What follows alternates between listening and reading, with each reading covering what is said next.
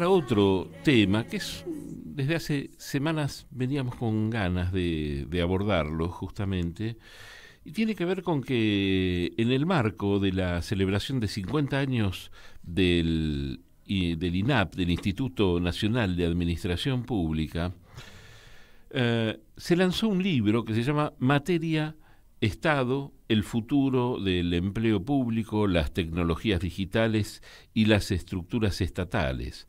Los autores son Gustavo Blutman y Horacio Cao. Nosotros vamos a conversar con Horacio Cao, que es licenciado en Ciencias Políticas de la Universidad de Buenos Aires, es máster en Asuntos Públicos y, bueno, por supuesto, autor de este libro. ¿Cómo te va, Horacio Hugo Gullman? ¿Cómo estás? Hola, Hugo, un gusto, un gusto hablar con ustedes. Buenas tardes. Eh, bueno, igualmente. Bueno, eh, varios temas, ¿no? A partir de esto se habla siempre de la modernización del Estado. ¿Qué pasa con el, con el Estado y el trabajo, ¿no? Eh, contanos un poco del libro. Bueno, mira, hay, ahí hay una serie de, temas superpuestos y, y cuestiones a tratar que justamente lo que tratamos es desentrañar y darle a cada uno la, dimensión que corresponde. Hay una cosa que tiene que ver con la puja política alrededor de, del Estado y superpuesta con ello, derivada de esta, hay una idea de cómo, cómo van a actuar las, las nuevas tecnologías que están generando una revolución muy importante en términos de cómo se organiza el Estado y la organización, la organización estatal. Algunas cosas realmente revolucionarias que están pasando y súper interesantes. Nosotros la metáfora, para que, se entienda qué es lo que estamos viendo y qué es lo que están viendo los, los expertos, es así como la automatización hace 40, 50 años atrás terminó con, o hizo casi desaparecer a los puestos de la línea de montaje y generó un cambio muy profundo en lo que fue la clase obrera. La automatización actual va a cambiar muy profundamente lo que se conoce como trabajo administrativo, trabajo de cuello blanco, que va a pasar a estar automatizado y va a ser de otra de otra de otra característica. Claro, el tema es la reinserción, ¿no? Porque cuanto más tecnología aparece, eh, menos mano de obra, ¿no? Menos. Estaba pensando justamente en una información de la que se habló hace unos meses, pero que en estos días justamente ya se está por empezar a concretar, creo, que tiene que ver con los peajes tecnologizados. Yo los vi fuera del país, no tan lejos, los vi en Chile, hará unos cinco años atrás aproximadamente, que pasás por los peajes sin notarlo, sin disminuir la velocidad y sin cabinas, ¿no? Y te lo lee directamente al algo que vos no ves dónde está tampoco. Eh, y, se está empezando, no sé si ya están habilitados aquí, pero muy pronto seguramente en alguna autopista va a estar. Y eso genera menores puestos de trabajo, ¿no? ¿Qué pasa con esa reinserción, no? Bueno, lo que es interesante ver es que, o sea, que de esto se viene discutiendo desde el principio de la modernidad, te diría, desde hace siglos, los luditas, los primeros que artesanos que salieron a romper máquinas, y, después en la revolución industrial, Tal cual. bueno, en muchos momentos. Lo que estamos viendo hasta ahora, y esto también a nivel global, es que no se están perdiendo cantidad de puestos de trabajo. Por ahora, cada puesto que se destruye genera por cambios, por reconversión, por reinserción, por algunas cosas que si tenemos tiempo las vamos a llegar a, a comentar, que las características que tiene esta nueva tecnología, se crean otros tantos puestos de trabajo.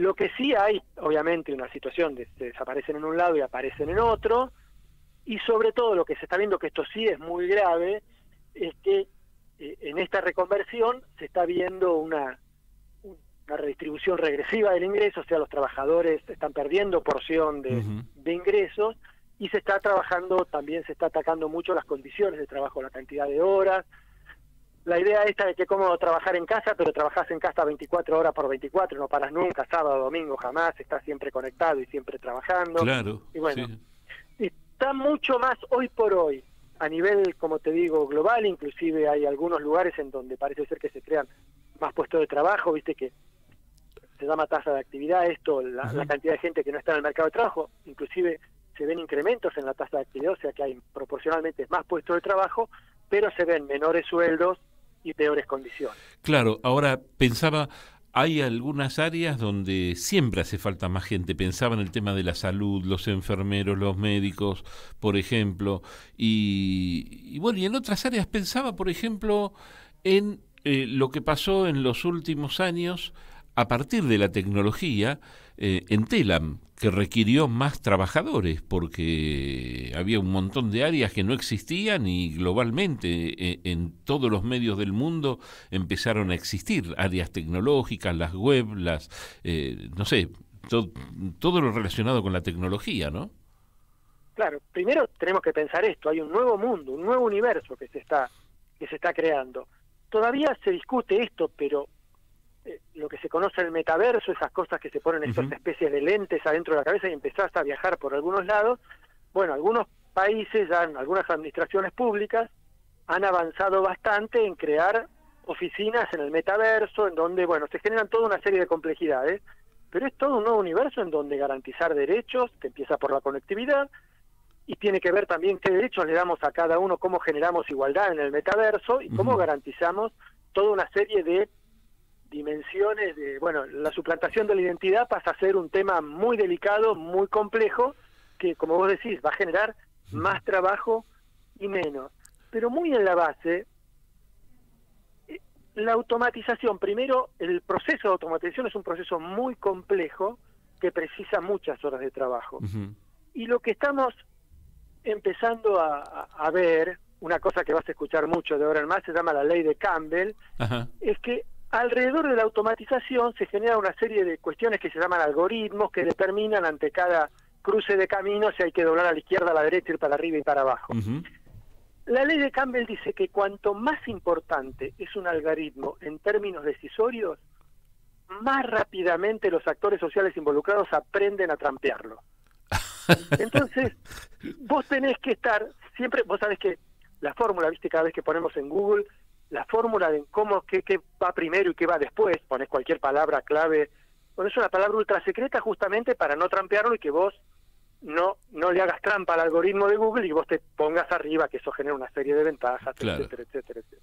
Bueno, esto pasa en cada algoritmo que hace el Estado para determinar una política pública, como te digo, todo el mundo rápidamente aprende, trata de aprender para ver cómo ganarle al, algoritmo. Al algoritmo. Entonces tenés que Claro, tenés que estar atrás continuamente controlando para que no haya desvíos de objetivos, digamos, ¿no? Para que la política pública cumpla esto y que no gane el que fue más inteligente para, para jugarle al algoritmo. Claro, ahora cuando, cuando hablamos, ponele como se hablaba en algún momento y se sigue haciendo, de las redes, decimos, bueno, pero Facebook es bueno o es malo, Twitter es bueno o es malo, digamos, todo tiene que ver con, con el uso que le das, todo tiene, es, es todo eh, eh, muy, muy relativo, ¿no?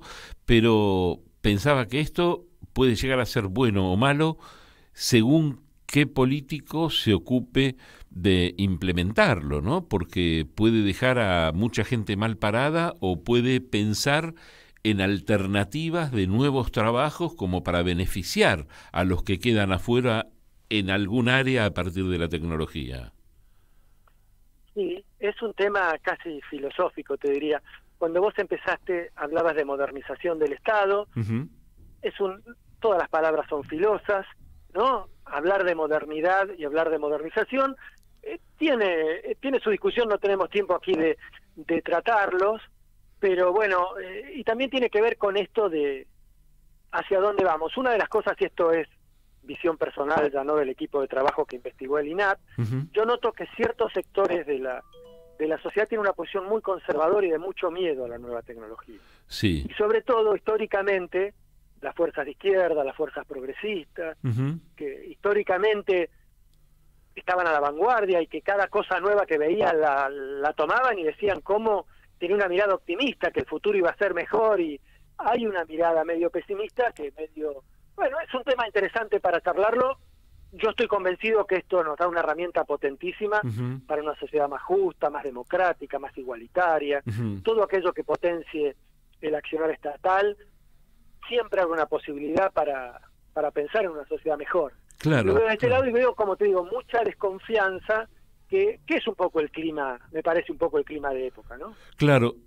Hay también, eh, y vos obviamente estás bastante involucrado ¿no? en todas las en este tipo de tecnologías, pero me parece que hay un gran temor de un sector de la población a las tecnologías, desde, desde la gente grande con el temor, no sé, a ir al cajero o meterse en internet para mirar tal cosa, o gente joven, docentes, por ejemplo, a los que les cuesta también seguir, inclusive a los alumnos, ¿no? Falta, me parece que parte de la responsabilidad del Estado va a tener que ver también con esto, ¿no? Con la educación, con la formación de los que tienen que meter mano, ¿no? Sí, esto es indiscutible, es un, un desafío para todos. Eh, te diría para instituciones públicas, la universidad, la Universidad Argentina. Pero ah, como yo soy un, enamorado de la Universidad Nacional, me parece un fenómeno que no siempre rescatamos en todo su poder, viste esta cosa maravillosa de que cualquier argentino, que es un país emergente, no es un país del primer mundo, le garantice a todos los pobladores la posibilidad de ir a la universidad. La verdad, esta, esta idea, yo soy, como te digo, y de los técnicos argentinos, reconocidos mundialmente en estos temas. Vos sabés que el Estado ha desarrollado algunas cosas que son tomadas por buena parte de América Latina y la calidad de nuestros técnicos es realmente muy reconocida. Digo, por eso me permito ser optimista sabiendo que es un desafío y que muchas veces ciertos actores lo utilizan para tener una posición dominante y generar un Estado más cerrado o generar sociedades más cerradas, más excluyentes. No, no quiero tener una posición así Disneylandia, digamos, de que todo va a estar mejor. Es parte de la de la puja política, pero bueno, siempre, eh, como te decía, la fuerza progresista siempre tuvieron fe en el futuro y pensaron que, que nos iban a servir para tener una, una sociedad mejor. Y Horacio, el, el libro es un libro pensado en la academia, pensado en la divulgación popular también. Bueno, mira, nuestro esfuerzo y no solamente con este con este libro nuestro esfuerzo es tratar los temas tenemos todos los que integramos el equipo somos todos posgraduados es tomar lo que se está discutiendo en el mundo esta cosa maravillosa que uno tiene con internet que puede estar online sabiendo si sabe inglés qué es lo que se discute en China, qué es lo que se discute en India, qué es lo que se discute en, los países de la OCDE. Trata de tomar esa discusión, trata de apropiársela y, verla en términos latinoamericanos y tratar de exponerla de la forma más simple y sencilla posible. Claro. Tiene aparte, justamente para poder divulgar, hemos hecho 11 videos muy cortos, de dos minutos, en donde tratamos de marcar los grandes ejes de discusión, estas cosas que te estuvimos comentando, con respecto al empleo, con respecto a la tecnología, con respecto a las estructuras. Claro, claro, claro.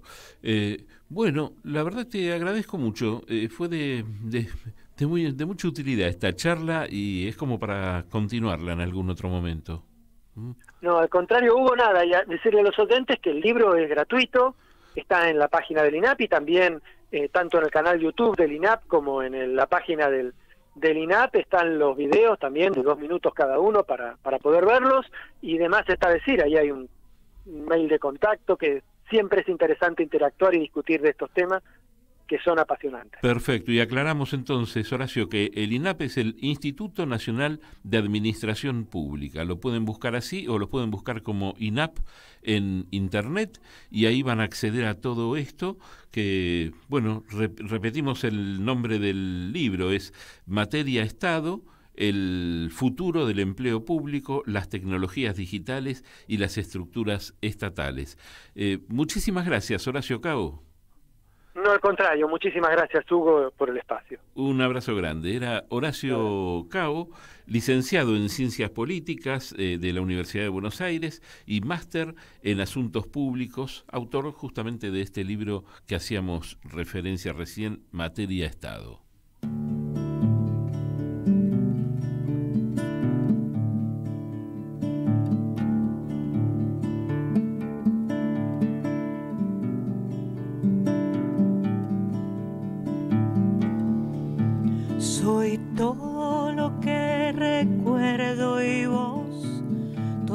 Que has olvidado.